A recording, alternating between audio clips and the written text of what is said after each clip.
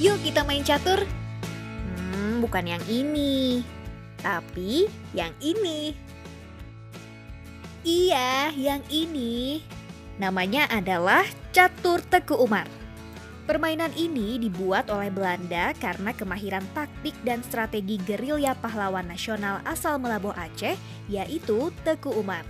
Di masa kecilnya, Teku Umar dikenal sebagai anak yang cerdas, pemberani, dan pantang menyerah. Tak heran, meski tidak pernah mendapatkan pendidikan formal, Teku Umar mampu menjadi pemimpin yang kuat mempertahankan Aceh dari Belanda. Ini papan caturnya teman-teman. Peta Aceh.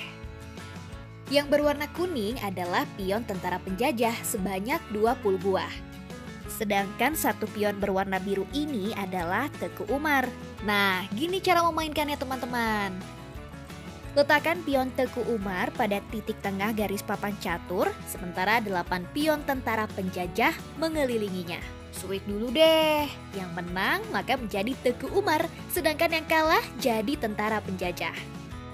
Pion Teku Umar jalan lebih dulu dan bisa memakan tentara penjajah dengan cara melangkahi pion tentara penjajah yang berwarna kuning.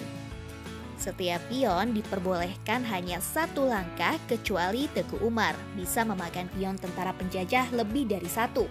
Pemenang ditentukan jika Teku Umar mampu menghabiskan pion-pion tentara penjajah atau sebaliknya. Tentara penjajah menjadi pemenang apabila mampu membuat Teku Umar mati langkah.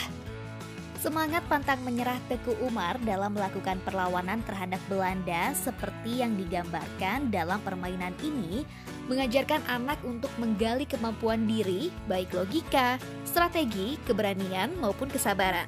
Anak-anak juga diajarkan untuk berpikir kritis serta mampu mencari solusi dari setiap permasalahan.